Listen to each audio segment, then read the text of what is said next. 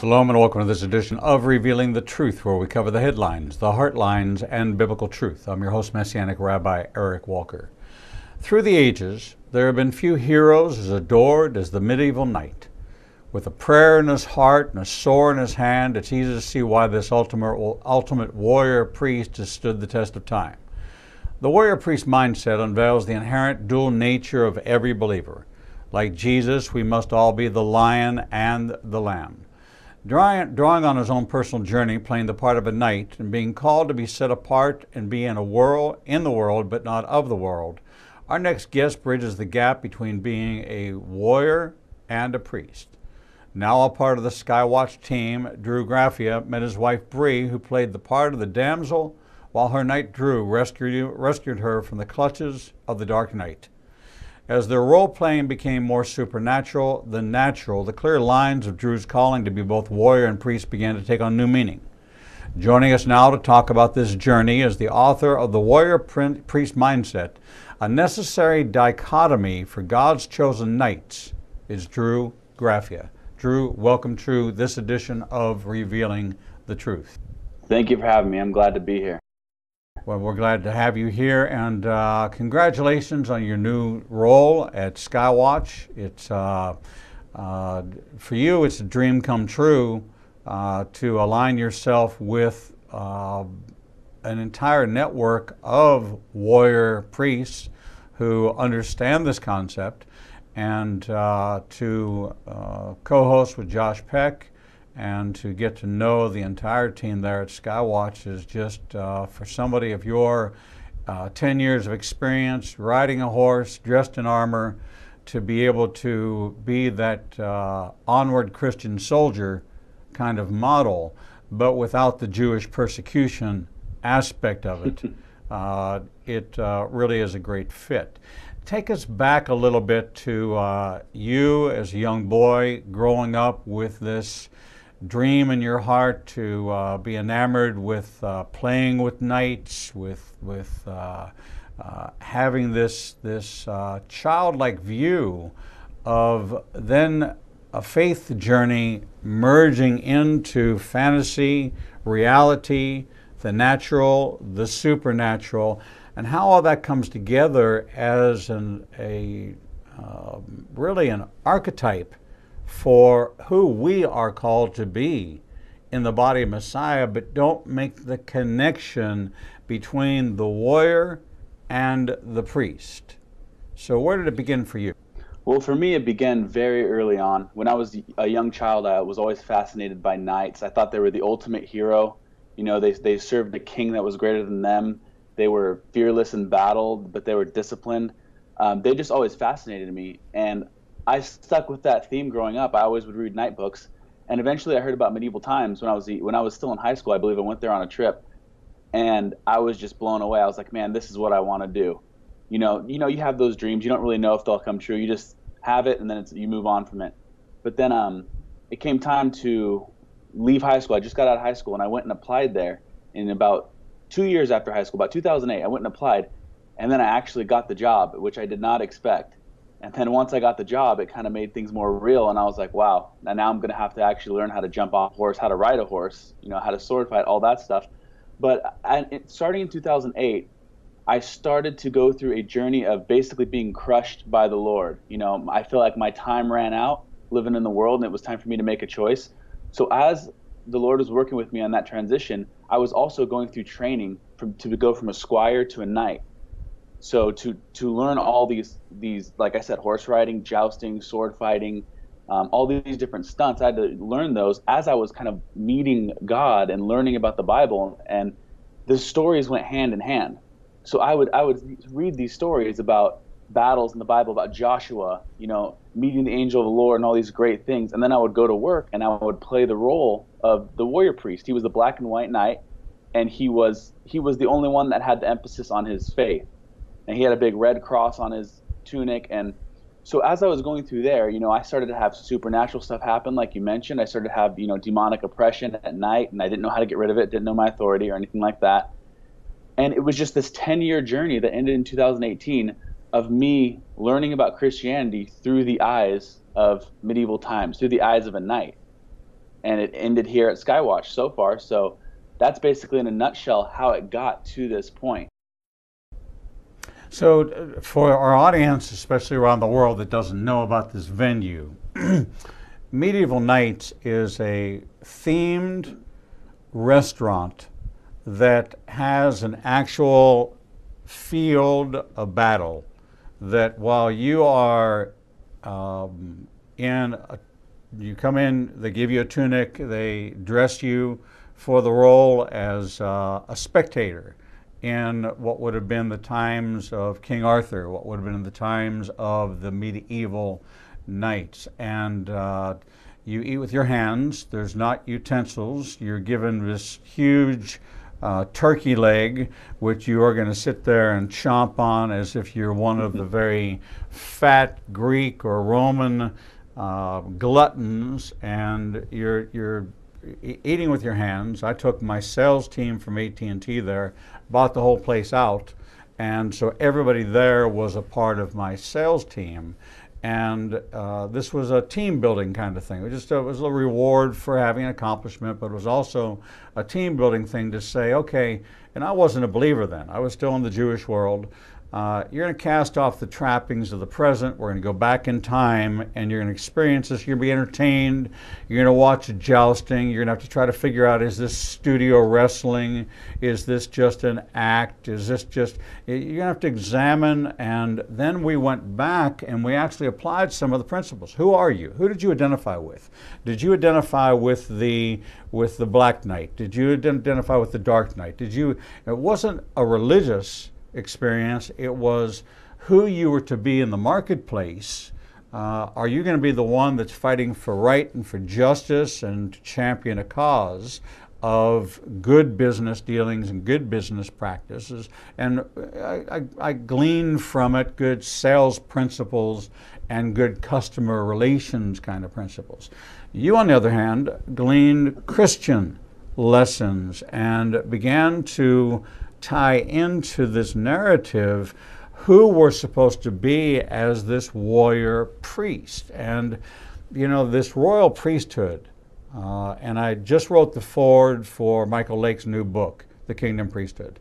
Uh, and your, your book is, is, a, is almost like a launch pad into his book because he takes you deeper into this priesthood model as this kingdom of priests. And so, from a foundational perspective, you had to come to grips with some of the battle strategies of the Bible and the characters and understand that there has been the presence of evil in every generation that's manifested itself in modern day icons. So here you are, you're role playing but you're role playing in such a way that you are in a battle with the dark knight. As you began to see this unfold, how much did this seal for you the true meaning in the Bible of how you could be a royal line of Judah, priest, line of Levi? How could you become this supernaturally merge DNA to rise above the battlefield and champion a cause of right, of just, of Jesus while you were there. And how did that play out in your personality and your relationship with other cast members? Well, when you think about you know playing the role of a knight, of course you have the sword fighting, the horse riding, but what a lot of people don't realize is you also have the charity events. You also have the the events where you go to a, maybe a children's hospital, where you go to a disabled children's school and you perform for them, and, and you are always to uphold the appearance of a knight. You're always to behave as a knight would have behaved. You know, you always have to have honor. You always have to have these things. So there's that aspect too. So as I was as I was portraying that role 10 years as my job, I would learn that those principles were actually in the Bible. This is the way you are to behave you know, regardless of your profession. So I would have real life examples of these things. And when it came to mixing with the other knights, you know, off the stage, off out of the arena, not everybody was Christian. you know. But but at the, at one time, my assistant manager he was Christian, and we actually started a Bible study, and I was actually able to leave for years, leave my Bible out um, in the break areas and stuff like that, and just I was able to leave it out because a lot of the Christians went to church. So I was able to witness. I was able to pray for people for injuries. I was able to. Um, one of the things I, I really was was blessed to be able to do is because I knew I was a Christian and I knew my Father would protect me. I was able to put myself in the role of riding the more dangerous horses. Let's say there was a new horse that had to be put in the show and he wasn't really trusting yet. I would be able to put myself on that horse because I know my Father would protect me. I don't know the same for you know you know a group of non-believers. Now, as you know, when you're becoming a Christian, you're not perfect. You stumble nonstop. So I was stumbling nonstop on my way to kind of figure out what it meant to be a Christian. And I was with a bunch of uh, half guys who were Christian, half guys who weren't at one point, and then slowly they started to drop away. Then it was just a bunch of people, non Christian, that I have to be a witness to. And when I got put in a position of leadership, I became the assistant. I was being watched with a microscope, and I made many mistakes, but not only mistakes as a, a new leader, but also as a new Christian. So I was being you know, called out on a lot of stuff, but I had to maintain, I had to decide, am I a Christian all the time or am I a Christian at home? And, and at work, I'm just one of the guys. And that kind of made me alienated. And I was fine with that, but I became known. I found out later, my wife told me because she heard about me. She's like, yeah, everyone said, oh, that's the Christian Knight.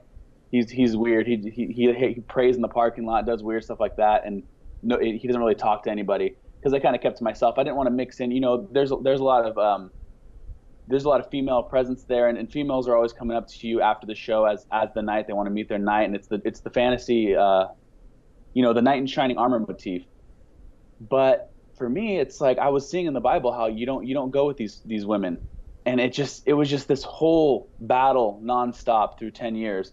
But it was a great time to witness, and it was a great time to really draw the line in the sand and say, when does my Christianity stop? Does it stop when I come to work, or am I going to be a Christian all the time, even if I'm failing? You met Bree, who was also a part of the troupe that uh, performed at uh, this venue. How did that come about, and what was it that uh, brought you two together? Well, she worked in hospitality and serving. So as I was up at the, the bar after the show, because we'd all go up and meet meet the audience, um, I'd be sitting there, and she would be wiping the tables down and just closing up for the night. and I think I said honestly, I think I said some smart aleck comment to her, just having fun, um, just being friendly. But then we struck up a conversation, and as I got to know her, I found out she was raised in you know the Calvary Chapel community, and she she knew a lot about the Bible.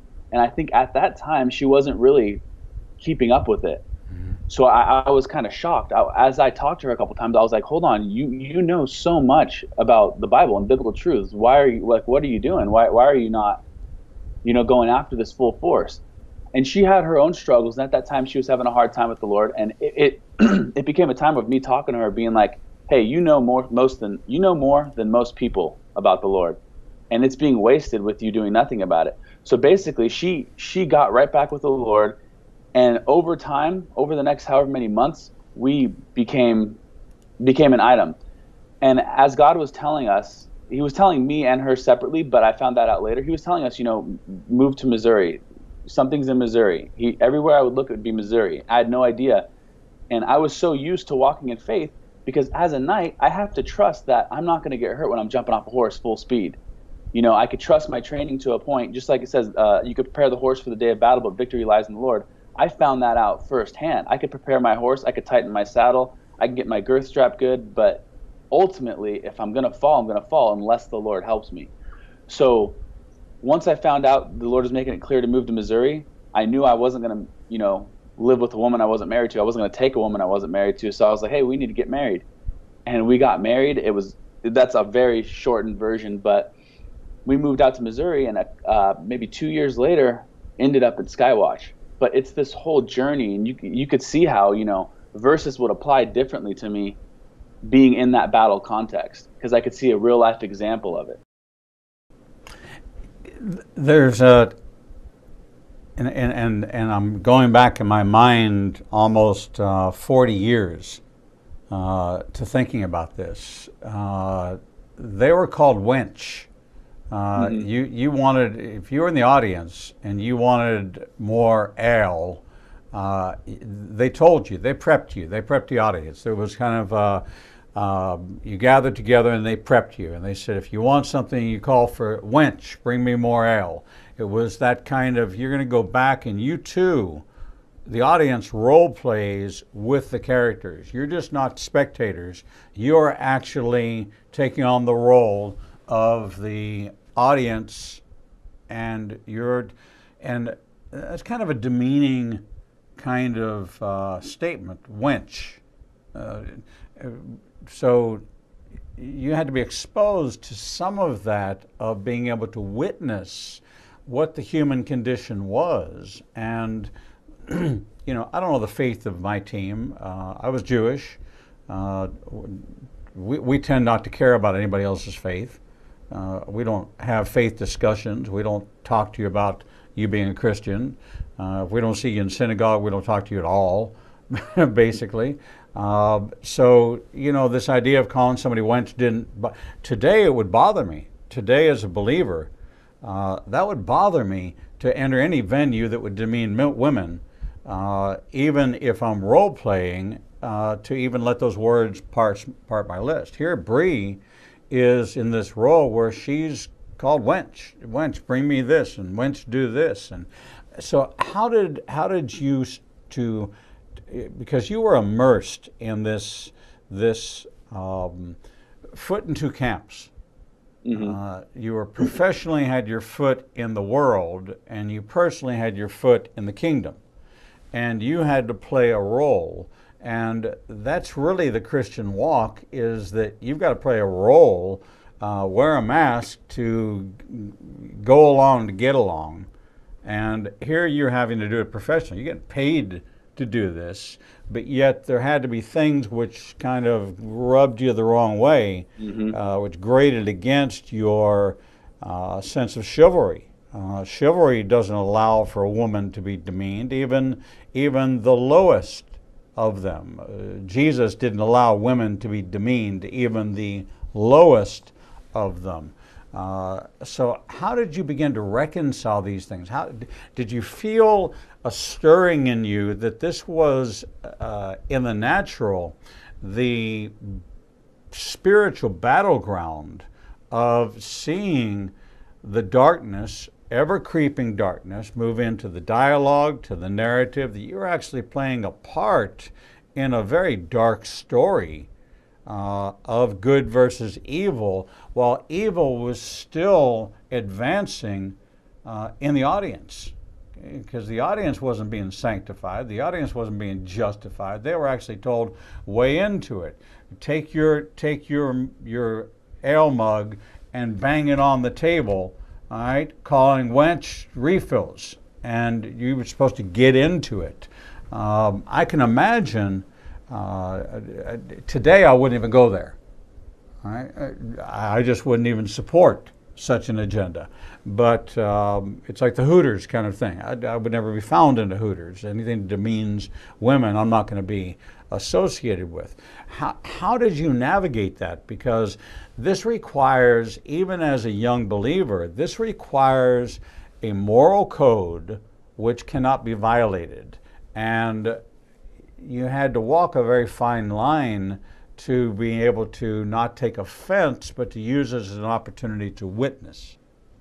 Yeah, so there were there were many things that, you know, kind of went against my, my morals over the years that I had to take a stand for. One of the ways to mitigate some of that was to put myself in the role of the warrior priest instead of playing one of the other characters. So I, I, I was playing the role that was the most honorable, so it was easy for me to keep at least my behavior in line with that. So that that aspect was taken care of. But when it came to other things, like um, there was one time, there was one period where, for as an exercise program, they they brought in yoga. And as a new believer, you know, I, I went along with it for a while. Then I started to realize, wait, this is yoga is a is a Hindu spiritual practice.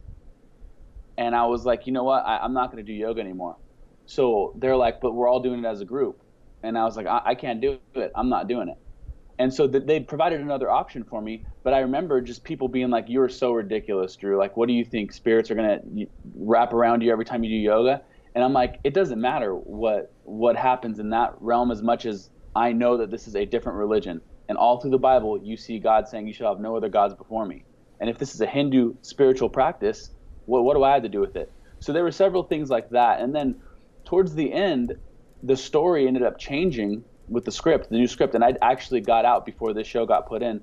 But where where the woman was the dominant role, and it was it almost sounded feministic, and then the um, the warrior priest was the bad guy for a while, and it just got to a point where I'm like, you know what, Bree, like it's about time. Got, like God's putting on my heart. I've I've I've done everything to do here that I feel like God wanted me to do. Because before I, I knew God was calling me out of there, I thought this was my career path. I thought I was being groomed to be a head knight in another castle. So either in Georgia or wherever they would have sent me. But it just God just kind of took took the joy out of it for me. He just let it dry up, and then he started to show me things that I was blind to over the years. He started to show me how things were really run with certain aspects, and I was like, wait a minute, I, this isn't this isn't something I'm okay with.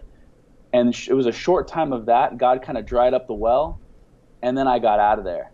But there were several things along the road where I'm just like, man, I'm not going to do this. I can't do this. And that furthered me being this outcast kind of person. And that, coupled with being a new believer, like I said, who was making mistakes all the time, because I don't want to paint this picture like I was some perfect knight, you know, the whole time there. No, I was, I was, I went through struggles as a Christian just like everyone else did. And mine were magnified because I was in a leadership role.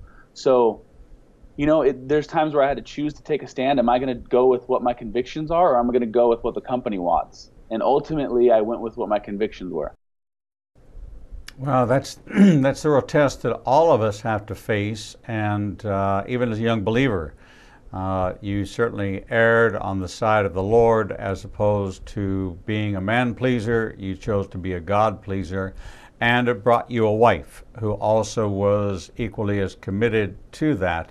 So uh, it's, it's kind of an interesting study about how things in the world, if we use a biblical lens to examine them, can reveal supernatural truths to us that gird us up, even in our unlearned state. This was the, the, the tagline for, for Peter, that he was an unlearned man. Well, that just meant he didn't study with a rabbi. It didn't mean he was stupid, it didn't mean he was a member of the deadliest catch, he was a drunk and had no teeth. Uh, it just meant that he had never formally had an education sitting with a rabbi. Uh, he knew lots of things, including how to recognize the Messiah and answer the call. Uh, and so, uh, young, impressionable, uh, navigating a career and navigating your faith simultaneously uh, is challenging enough, but you erred on the side of the Lord and He orchestrated your steps. We're talking with Drew Graffia, author of the book The Warrior Priest Mindset A Necessary Dichotomy for God's Chosen Knights. Uh, we serve a Messiah who came as a suffering servant but returns as Yeshua ben David, the conquering king. He came riding on a donkey, but the king is ready for battle, rode on a horse. We see that with Pharaoh. He came on a horse uh, and a chariot and came ready for battle. Uh, are there more things in the Bible that we could understand better if we had this warrior priest mindset that would equip us for a deeper understanding of not just natural warfare, but spiritual warfare and the plans of the enemy and the strategy of the enemy and how to become a victorious knight in the kingdom of God. This is the message of Drew Graffia and the message of the book, The Warrior Priest Mindset. We're going to take a short break and when we come back, we're going to talk about these dual messiahs, this, this uh, prophecy of, a, of a Yeshua ben Yosef, Yeshua ben David, uh, why the suffering, why the conquering, how that parallels our own journey uh, from suffering into conquering. uh, some of the codes of chivalry, which Drew was exposed to, that he was able to apply to a biblical model, and much more. We'll cover right after this break. Shalom. I'm Messianic Rabbi Eric Walker, host of Revealing the Truth, Revealing the Bible, and Revealing Prophecy, seen every week on the Igniting Nation Broadcasting Network. Our daily on demand programming is available on our Apple and Android apps and on Roku, Apple TV, Amazon Fire, and Android TV. We broadcast live Monday through Friday through our apps, on our website, ignitingnation.com, and on Facebook Live. You can listen daily on our audio platforms on Spotify, iTunes, TuneIn, and iHeart. Our lineup of best selling authors bring you the most in depth biblical insights into the most pressing issues of our time, including prophecy, Israel, spiritual warfare, and a wide variety of contemporary Christian issues impacting the body of Messiah around the globe. If you missed the live show, you can always catch up on the Igniting Nation YouTube channel.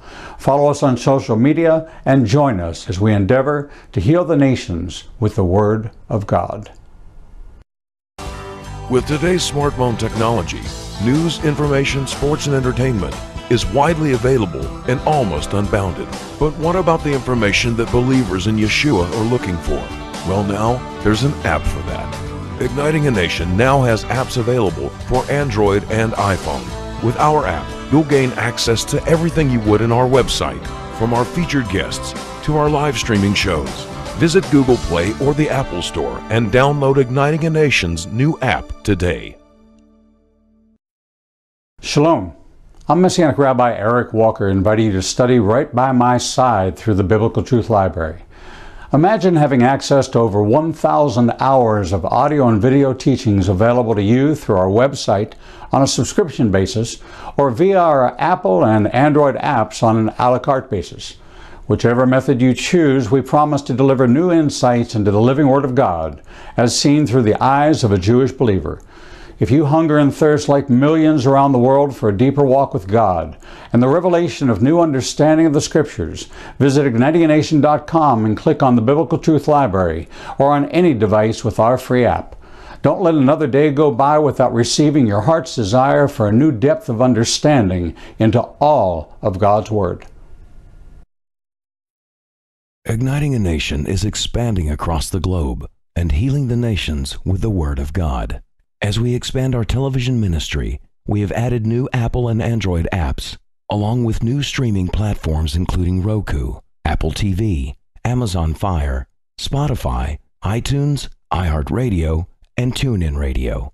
Your support keeps us broadcasting live interviews and teachings to cover every challenge facing a believer in these perilous yet prophetic times. In appreciation for your support, we are offering you a special gift. For any donation of $100 or more, we will send you a signed copy of Rabbi Eric Walker's best selling biblical thriller, The Codist, and The Seven Laws of Abundant Living. You can give online via ignitinganation.com or by check mailed to Igniting a Nation, 115 Brook Highland Cove, Birmingham, Alabama 35242. Make sure to claim your special offer, IAN 2020. Help us keep reaching the uttermost corners of the earth with the good news of Messiah.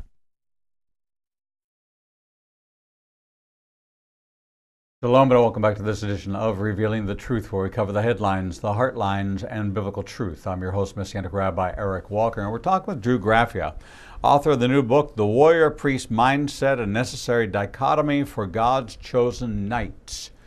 Drew, welcome back. Glad to be back. Drew, take us into the book a little bit. Um, you have this worldly experience with a supernatural undertone, and you've been able to articulate it in the form of a book, taking us on a journey into the warrior priest mindset. Okay? How do we put on this helmet? Uh, the, the exchange, and I will tell you it's transactional. Uh, you have the priest, and the priest has a mitre on his head, and you exchange that mitre for a helmet of salvation. He has a breastplate with 12 stones on it, and he exchanges for the armor of God, the breastplate of righteousness. He has the very first thing he puts on is his belt because otherwise his pants are going to fall down. Uh, so he wraps it all together, and that's what it's not an accessory, it's an important item. The, the first thing he does is put on the belt uh, of truth. Uh, when we begin to think about the battle gear, the battle garments of armor, we begin to see that they are on par a direct transactional exchange for one priestly garment for one battle garment. And all the way through to the shin guards, to the, to the, to the boots on your feet, to the sword in your hand, all those things are the priestly garments exchanged for the warrior garments.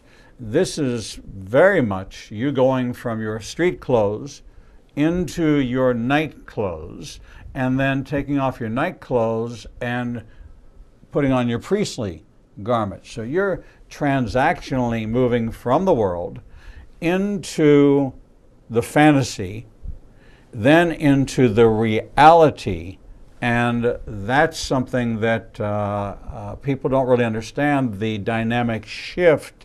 And you, we had a model back in the 70s, Dress for Success. In the kingdom, we also have a motto called Dress for Success.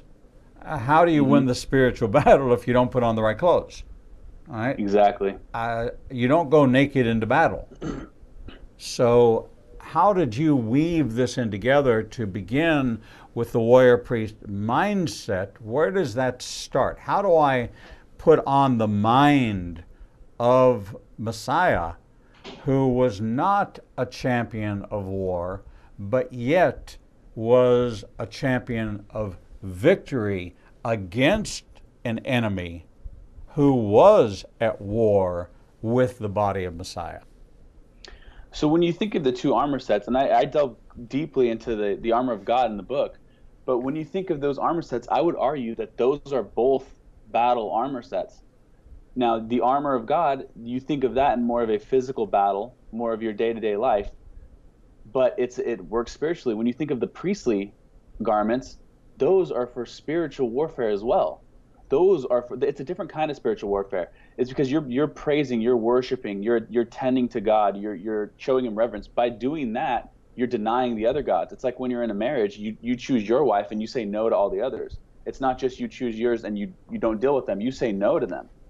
Now, by doing that in your priestly garments, acting as a priest, you're lowering the influence of the principalities, powers, rulers of darkness, everything from Ephesians 6:12. You're lowering their influence and when you speak out as a priest, when you teach as a priest, what you're doing is you're you're destroying their propaganda.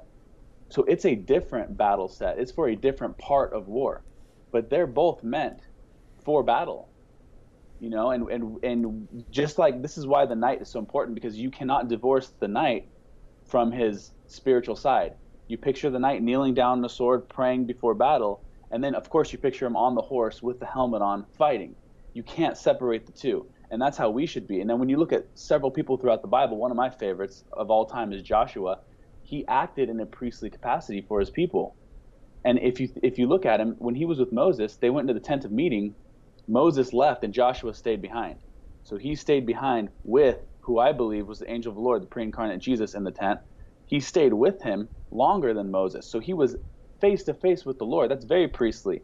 And then he went out and fought his battles you know, conquering the remnants of the Nephilim tribes, taking back the promised land. You know, but and right before his big physical battle, right before Jericho, the first start of his conquest, who did he meet with? The angel of the Lord. He met with him. That that is he was on holy ground. He said, "Take off your shoes, you're on holy ground." So you you can't separate that from Joshua either. He wasn't just this this hero. Now when you look at somebody else, you look at Samson.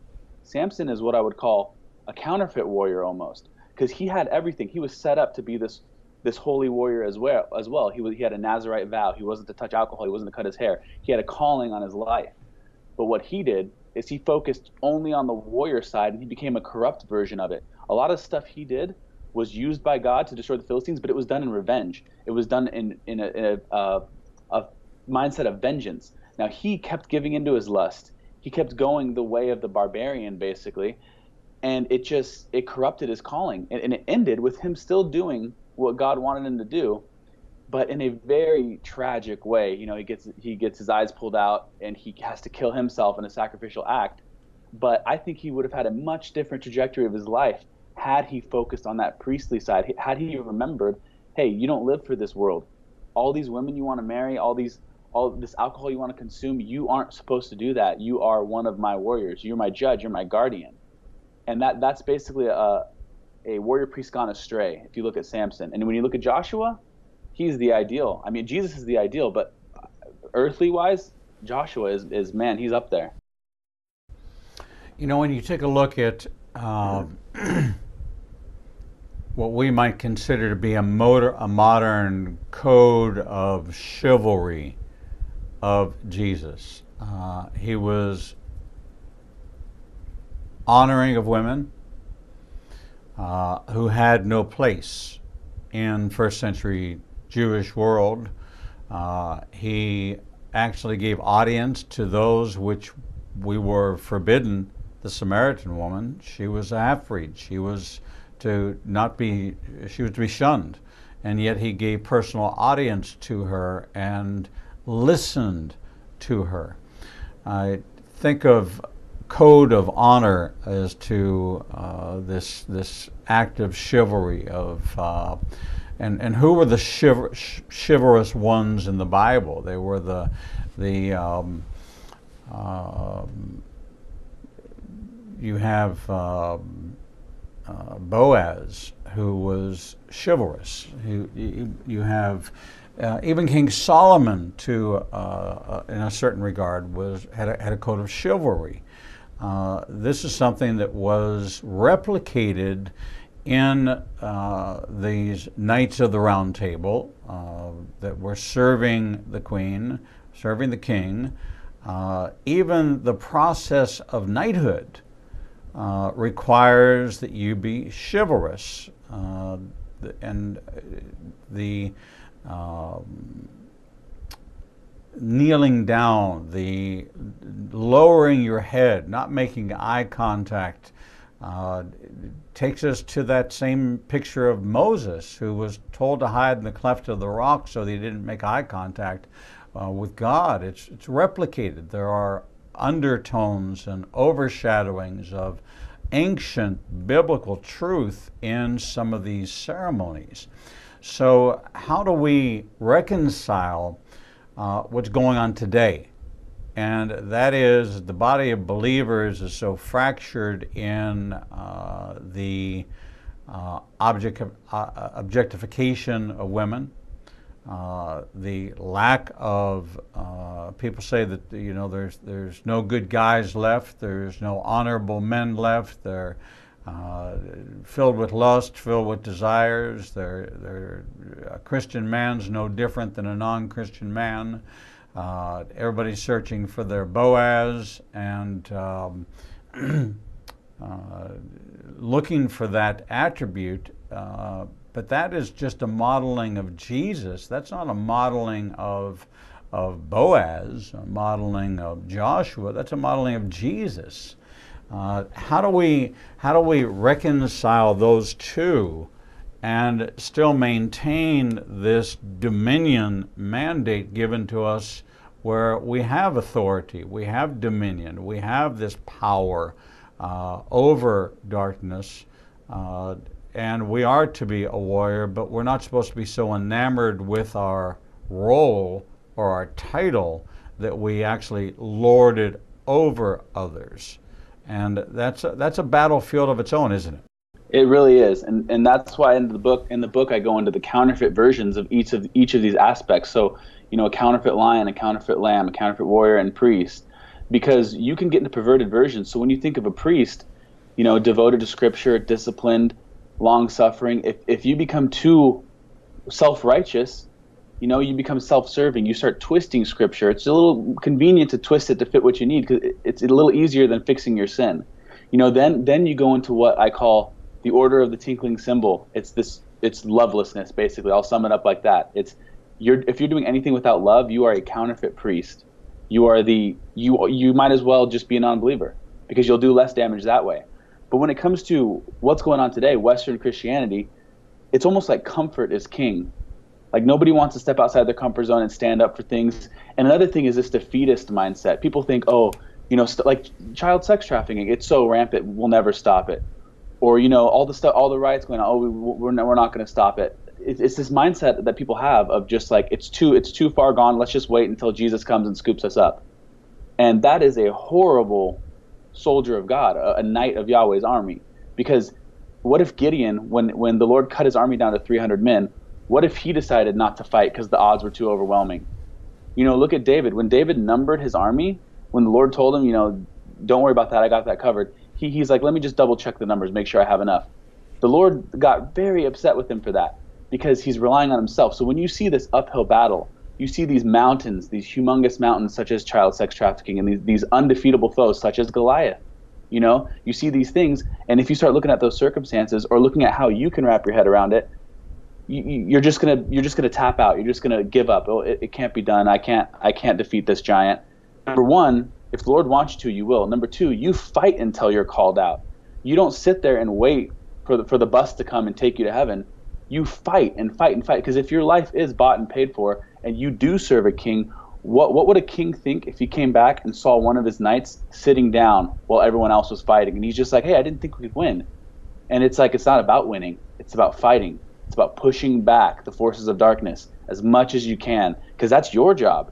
You let the Lord worry about you know where it's going to end up and where it's going to go. You just keep fighting. And a lot of people in Western Christianity, they're just so content with with you know their comforts and yeah, I'm a Christian. They're a Christian at the safety of their own home, but when it comes up to standing for something, it, they don't want to do it and that's why you, you think of this code of chivalry and i'm not talking about the, the actual literal code of chivalry i'm talking about the, the fantasy version of it what what the what the normal person thinks of as a code of chivalry. This this set of rules and guidelines to to live an honorable life as a knight. Now within that code of chivalry, there's warrior traits, there's warrior traits, there's priest traits. So you have persever- perseverance and resilience. That's for a warrior. You know, perseverance, pushing through these battles I was just talking about. Resilience, taking wave after wave of punishment with your armor of God on, and just realizing you are in a fight, you are going to get hit. This is part of it. Now, when you think of the priest side of the code of chivalry, you think of faith and fear of the Lord. You have faith. You have faith that He's going to protect you. He's going to pull you through. And if if you get defeated for some reason, you're not really defeated.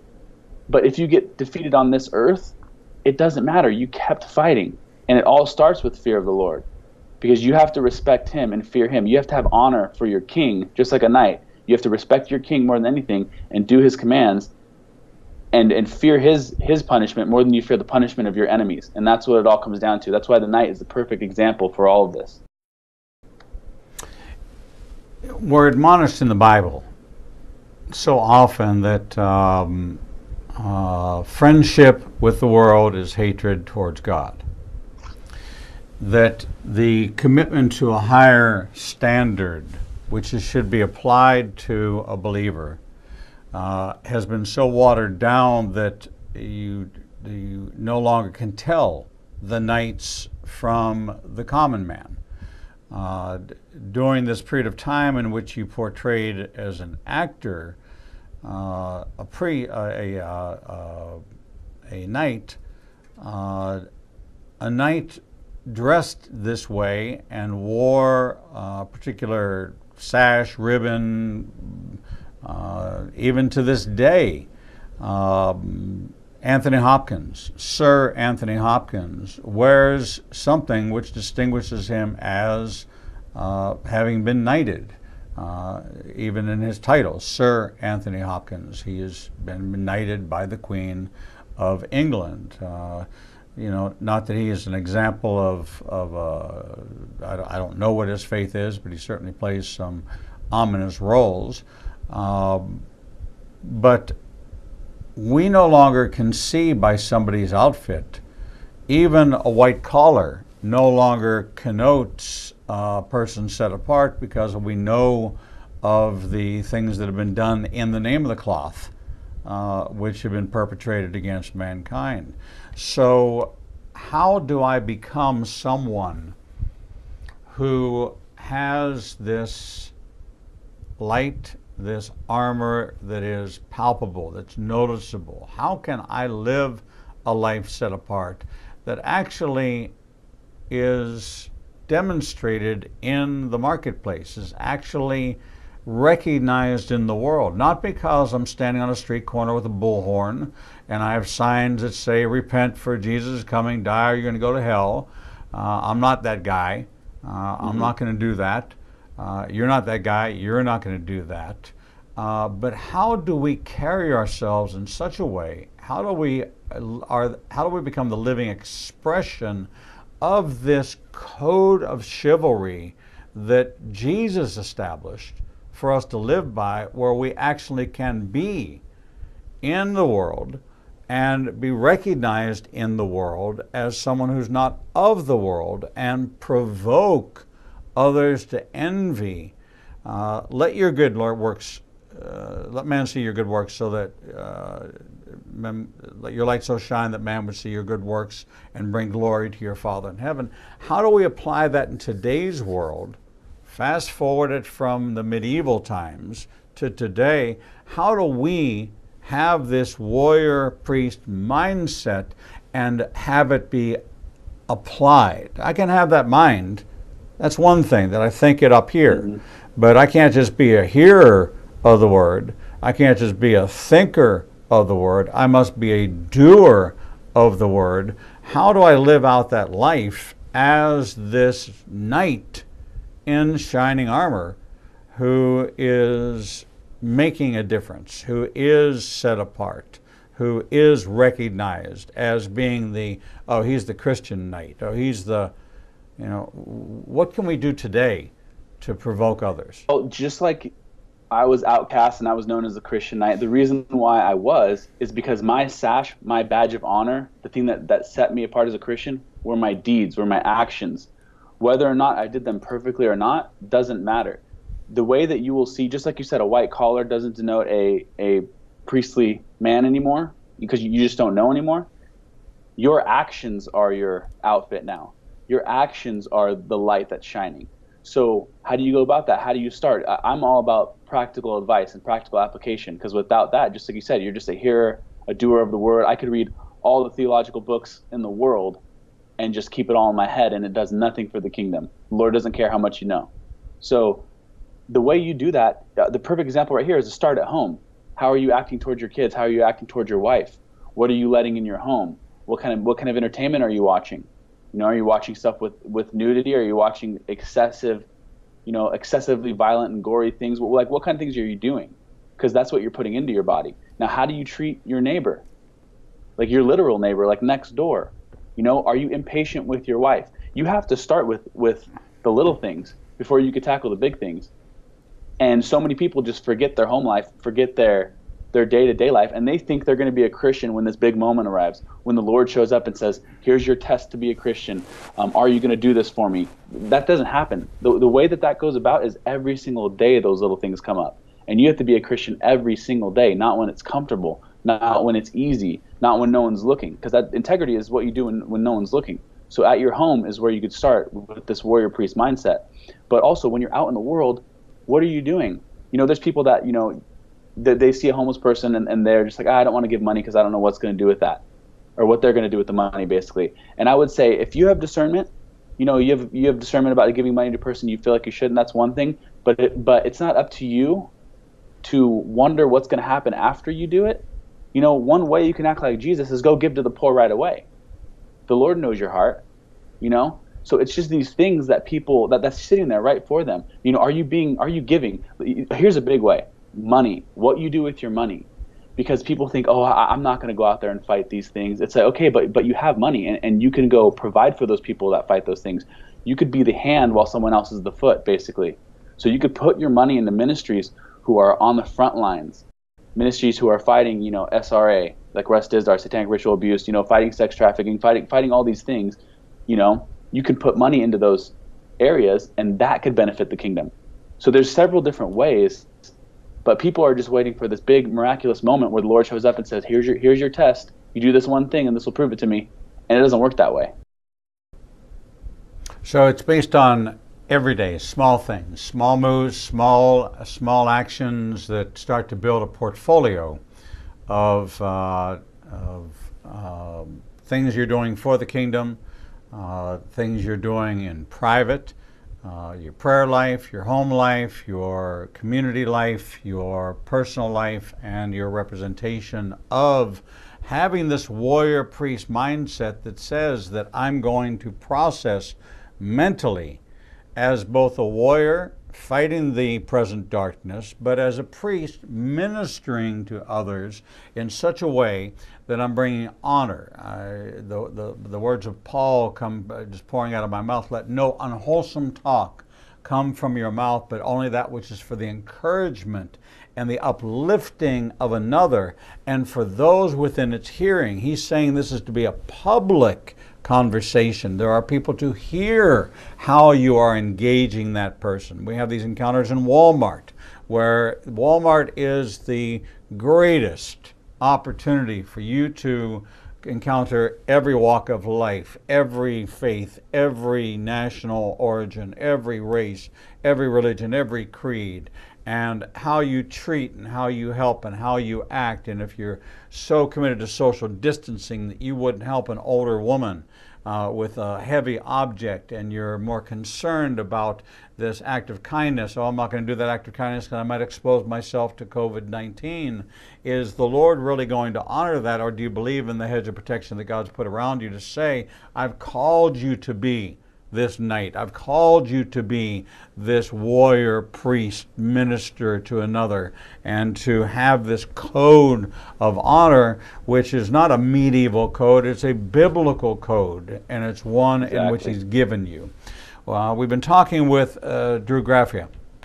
The warrior priest mindset, a necessary dichotomy for God's chosen knights. There's many of you are struggling.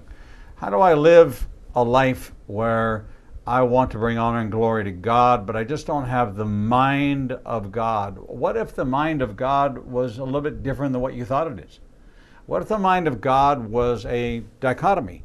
The mind of God equipped you to both be a warrior and a priest. What if you were called to be both? And you were called to be both in all circumstances as you fight the battles at home, as you fight the battles in the street, as you fight the battles in the heavenlies, that you can be both knight and priest and not be schizophrenic, not be not suffer from multiple dis, uh, personality disorders. That you can actually have that mindset, and you can read a book that's not only entertaining, but it's also truly scripturally based, biblically sound, and will excite you about the calling that's on your life. Drew Graffia answered that call. It brought him a new wife, a new life, and now he's living the dream that God had given him when he was learning to ride a horse that he wanted to do something more for the kingdom, and now he's joined the Skywatch TV team. It is a great read, and I strongly suggest you get it. If you're looking for it, just go to ignitingnation.com. Go to today's broadcast calendar. You're going to see Drew's name. You're going to see a picture of the book. It's going to say the words, Love the interview, buy the book, click right there. It'll get you a copy. Drew Graffia, thank you for sharing this story with us here on Revealing the Truth. Thank you for having me. It was a pleasure to be here. God bless you. We're going to take a short break, and when we come back, we'll bring you the next edition of Revealing the Truth.